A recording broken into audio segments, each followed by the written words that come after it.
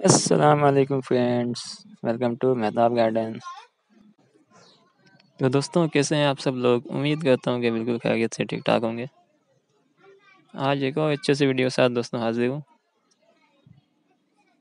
Tecoma plant tecoma plant दोस्तों, नाम होता है इस प्लांट का। Orange colour yellow colour red colour pink colour बहुत सारे कलर्स में दोस्तों आते हैं ये।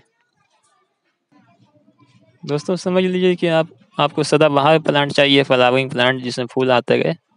तो आपको ये प्लांट लाजमी लगाना अपने गार्डन में।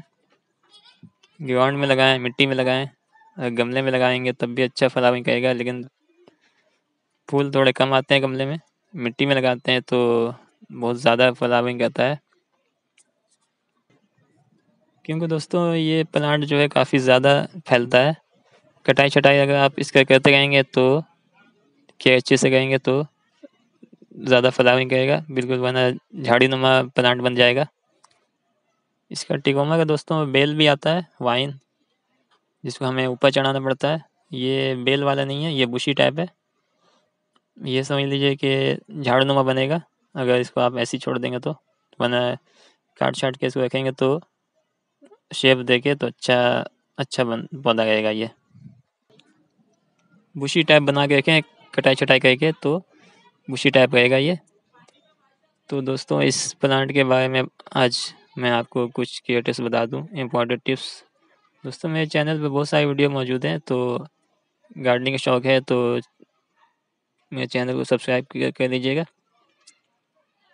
और लाइक तो करना एक बनता ही है। सबसे पहले दोस्तों के ये प्लांट की देखभाल। ज़्यादा से ज़्यादा दोस्तों सनलाइट देना है इसे। जितना ज़्यादा सूरज की रोशनी देंगे डायरेक्ट आप, इतना ज़्यादा फ्लावरिंग करेगा। पानी का भी खास ख्याल रखना, सुबह के टाइम लाजमी चेक कर लिया करें कि, क्योंकि ज़्यादा सनलाइट से खाना पड़ता है दिन भर के। पानी भी ज़्यादा, ये, इसको चाहिए। तो सुबह के टाइम लाजमी पानी चेक कर लिया करें। मिट्टी हमेशा हल्की हल्की गीली मॉइस्ट रहना चाहिए, गमले का या ग्राउंड में कहीं भी लगाएँ आप। कटिंग के ज़रिए दोस्तों आसानी से लग जाता है ये कलम से। छः सात इंच के आप कटिंग लें सेमी हार्ड वुड लें, बिल्कुल ना ही ज़्यादा सख्त हो, ना ही ज़्यादा ये पतली कटिंग हो। पेंसिल साइज़ की कटिंग आसानी से चल जाता है दोस्तों। दोस्तों गमले की बात करूँ तो गमले में आप जब भी लगाएँ इस प्लांट को, बड़े गमले में लगाएँ, अगर आपका प्लांट बड़ा है तो। छोटे से छोटे से प्लांट है तो छोटे गमले में लगा लें, आठ दस इंच में। सही अच्छा कामयाब चलता है। प्लांट दोस्तों फ्लावर सूख जाने के बाद जब फ्लावर स्पेंड हो जाते हैं तो सीड पॉट भी बनता है। सीड पॉट भी आप हासिल कर सकते हैं इससे।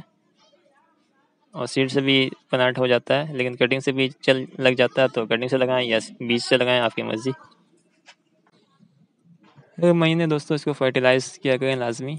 जो सा फर्टिलाइज़र आप यूज़ करते हैं, लाजमी दिया करें लिक्विड डालते हैं तो लिक्विड फर्टिलाइज़र डाला करें।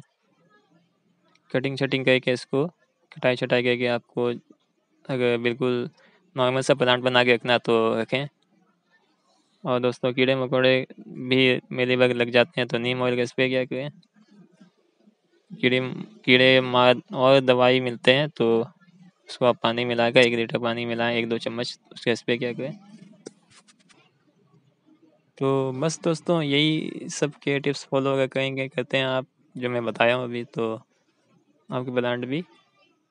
बेतहाशा फलावें करेगा ओके फ्रेंड्स लाइक कर दीजिएगा। अल्लाह हाफिज़। फिर मिलते हैं किसी नेक्स्ट वीडियो में।